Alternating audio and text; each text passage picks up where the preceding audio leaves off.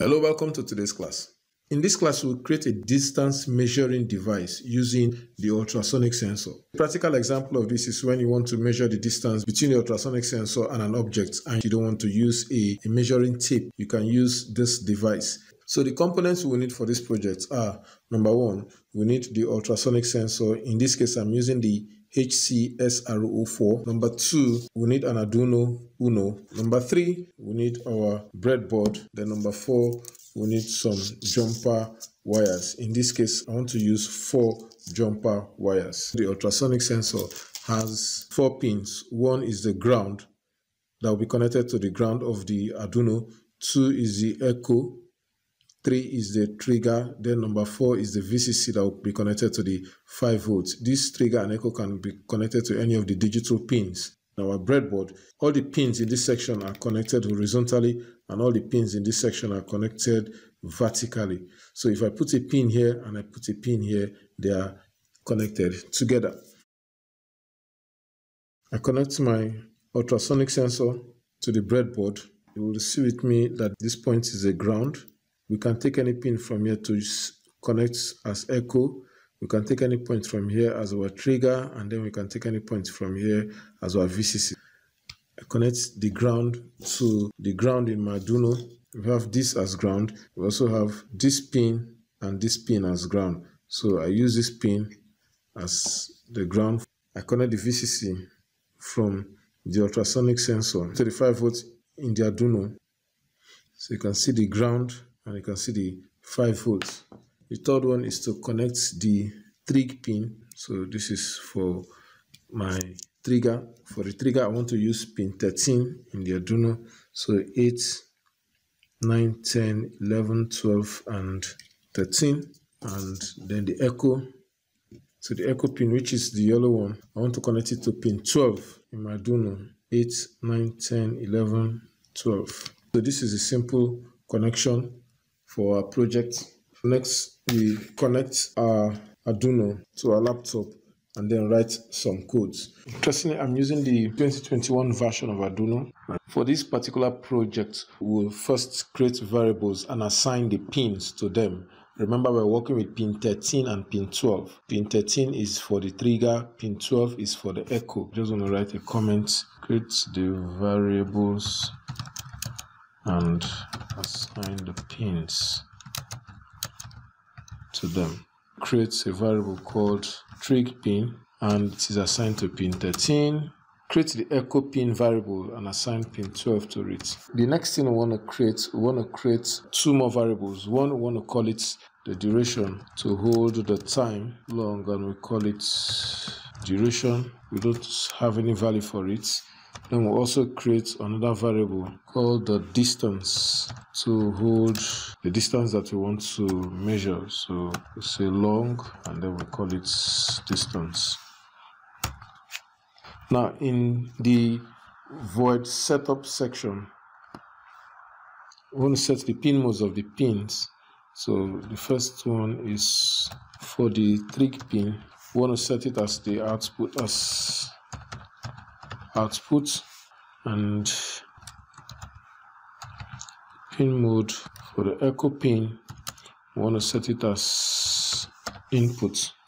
In this particular project we'll use the serial monitor to view the distance that we are working with. So we'll start the serial monitor by using this line serial.begin and we set the baud rate to 9600 let me write the comment here.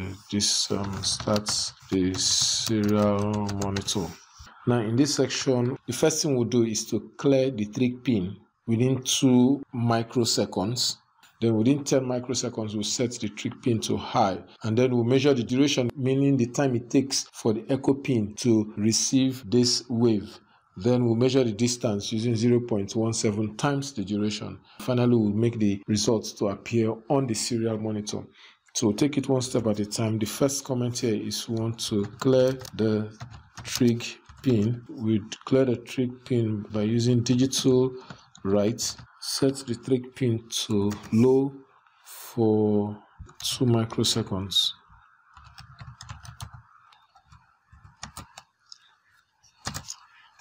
So the next part is we send the sound wave by using digital write then our trig pin.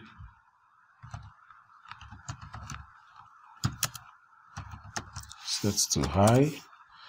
And we delay microseconds for about 10 microseconds. Then digital write trig pin low. When it sends the sound wave we receive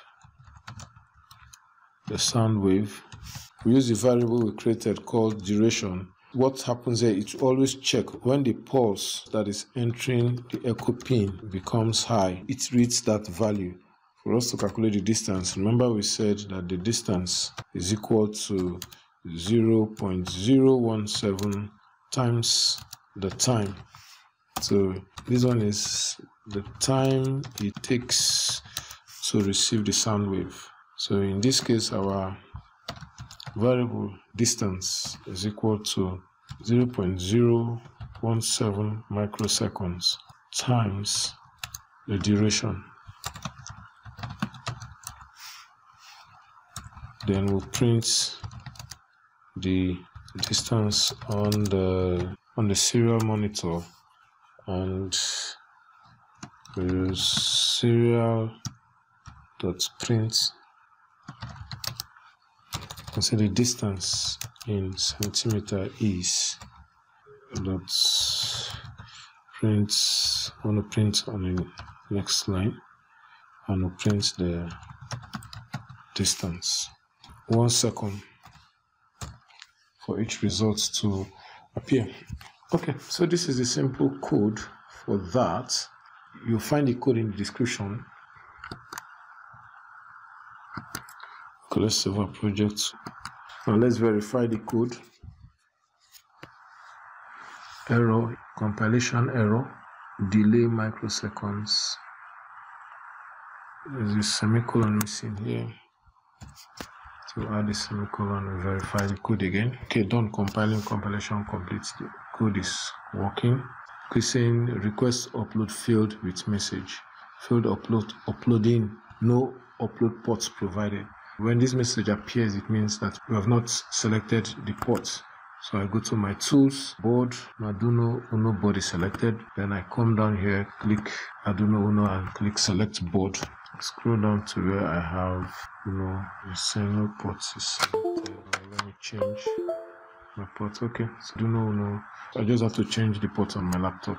And I select this port and I say okay so I upload the code again. Okay compilation done uploading. Now let's test the project. So if you check the reading on the serial monitor it's on 15 if I move it to 10 you can see it's reading 10 I move it to 5 and the serial monitor is also reading 5 if I move it to 24 you can see it's reading 24 this is one of the projects we can create with the ultrasonic sensor a digital meter.